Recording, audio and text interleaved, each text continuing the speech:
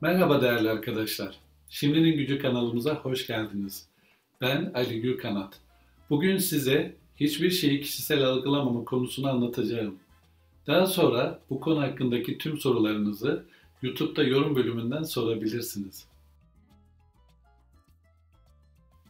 Hiçbir şeyi kişisel algılama. Kişisel algılamak söylenen şeyi kabul etmektir. Söylenen şeyi kabul ederseniz negatif düşünceler zihninize yayılır ve sizi zehirleyerek tutsak eder. Bu tuzağa düşmenizin nedeni egonuzdur.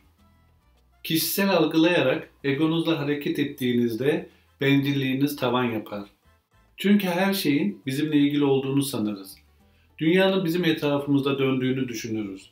Halbuki diğer insanlar sizi pek o kadar umursamazlar ve sizin için hiçbir şey yapmazlar.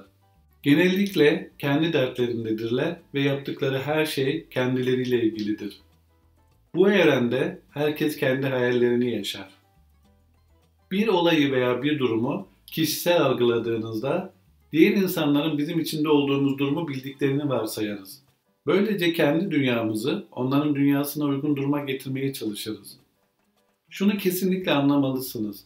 Herhangi bir şey son derece kişiselmiş gibi göründüğü zamanlarda bile başkaları size dolaylı olarak hatta direkt hakaret ediyor olsa bile yine de sizinle ilgisi yoktur. Sokakta karşılaştığınız biri size sen çok ahmaksın dese bile bunu kişisel algılamayın.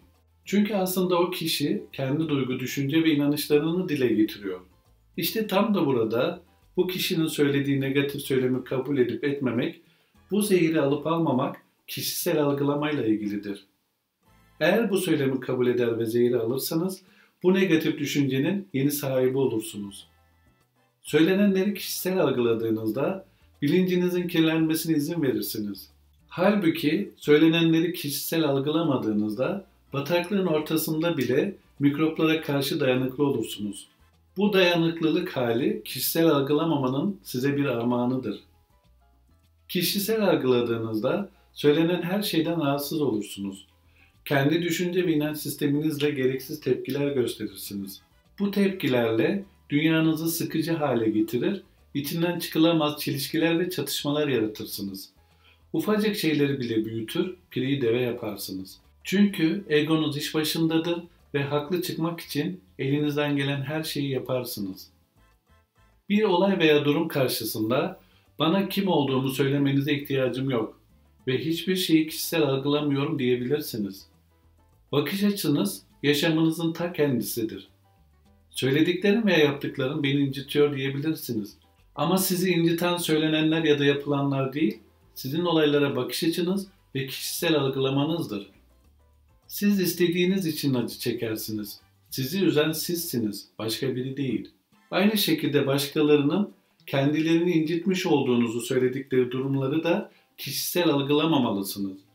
Bu durumda da karşınızdaki kişinin bakış açısı ve algılaması kişiseldir.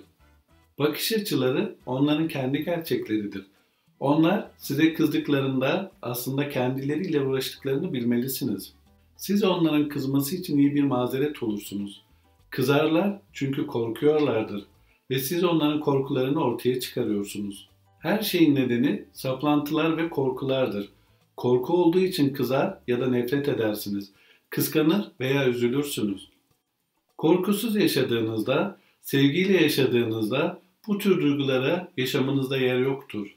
İnsanları kişisel algılamadan gerçekten oldukları gibi görebilmeyi başardığınızda asla söylediği ya da yaptığı şeylerden incinmeyiz. Size yalan söyleseler de bundan incinmezsiniz. İnsanların korktukları için yalan söylediklerini bilirsiniz. İnsanlar kendilerinin mükemmel olmadıklarının sizin tarafınızdan keşfedilmesinden korkarlar. Daima olmadıkları kişi gibi davranırlar. İnsanları gözlemlediğinizde söyledikleri ve yaptıkları şeyler arasında fark olduğunu görebilirsiniz.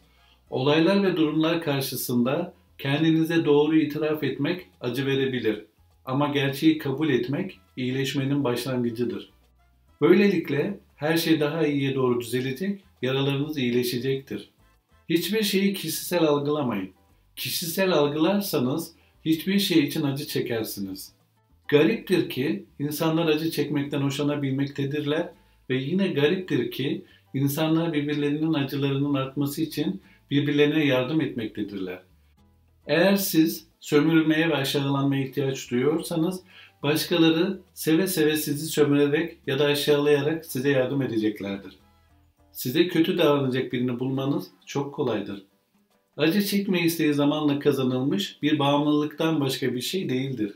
Hayatınızdaki biri size sevgiyle ve saygıyla davranmıyorsa o kişinin gitmesi size bir armağandır. Ayrılık acısı başlangıçta acıtır ama bir süre sonra iyileşirsiniz. İşte o zaman hayatınızın ödülü olabilecek birini gerçekten seçebilirsiniz. Kişisel algılamadığınızda size acı veren şeyleri hayatınızdan çıkarabilirsiniz. Zamanla nefret, kıskançlık ve kızgınlık gibi sizi üzen ve inciten tüm duygulardan arınırsınız. Bu kötü duygular zaman içinde kaybolup yok olur gider. Gerçek anlamda özgürlüğün tadını çıkarmaya başlarsınız. Kişisel algılamadığınızda hayatınızı daha güzel kılmak için kendinize güvenmeyi öğrenirsiniz ve bunu büyük bir keyifle yaparsınız. Kesinlikle diğer insanların davranışlarından ve hatalarından siz sorumlu değilsiniz. Siz yalnızca kendi davranışlarınızdan sorumlusunuz. Bunu idrak ettiğinizde başkalarının söylediği ve yaptığı şeyler sizi etkilemez, üzmez ve yolunuzdan alıkoyamaz. Tüm kalbinizi ortaya koysanız da kimse artık sizi incitemez. Kişisel algılamama konusunu bir kere anladığınızda artık alay edilme ve reddedilme korkusu olmadan istediğiniz kişiye seni seviyorum diyebilirsiniz. Ön yargılarınız olmadan herhangi bir konuda insanlara evet ya da hayır diyebilirsiniz. En kötü ortamlarda bile içsel huzur ve mutluluk hissedersiniz. Artık cehennemin ateşi sizi yakamaz. Değerli arkadaşlar, bir videonun daha sonuna geldik. Bu videoda hiçbir şeyi kişisel algılamama konusunu anlatmaya çalıştım. Umarım memnun kalmışsınızdır. Eğer memnun kaldıysanız ücretsiz eğitimlerimize destek olduğunuzu göstermek adına videomuzu beğenip yorum bırakabilirsiniz. Devam eden ücretsiz eğitimlerimizden haberdar olmak için de Şimdinin Gücü kanalımıza abone olabilirsiniz. Herkes şimdi faydalanabilsin diye ücretsiz ve sonuçları kanıtlanmış yeni alfa frekans ürünlerimizi iyi günlerde güvenli kullanmanız dileğiyle. Şimdilik hoşçakalın.